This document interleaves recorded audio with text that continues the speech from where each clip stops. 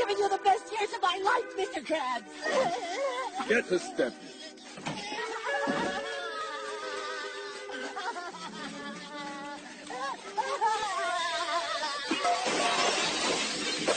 You're fired!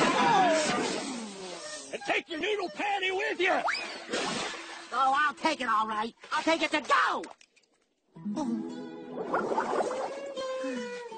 For years, I worked at the Krusty Krab. Now I've been fired five times in one day. Who are you gonna cook for now, SpongeBob? No! Sorry, Gary, you must be starving. Don't worry, Gare Bear. I'll open up a can of snail po for you. Oh no, we're all out of snail po.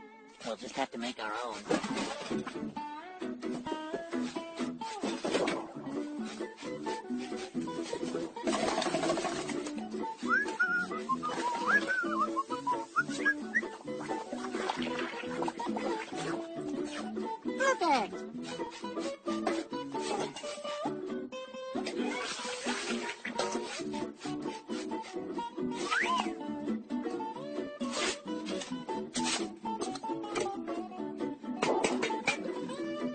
One homemade can of snail po.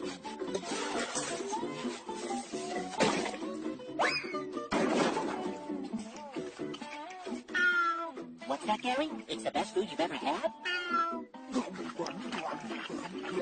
Now, this is delicious. Does it have any side effects? Only satisfaction. if only my bosses like my cooking as much as you two do. I mean, three. Hello? Hmm, that's odd. I could have sworn I heard a knock at the door.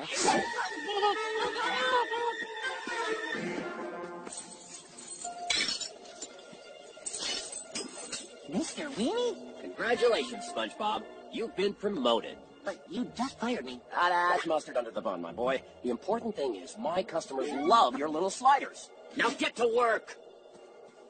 I'm pretty sure this is illegal. What am I gonna do now? Hey, kid, you need help out of here? Pizza Pete! Yes, please! That wiener has been chained to the grill, and he really seems to be relishing it. I have something to free you. Pizza sauce?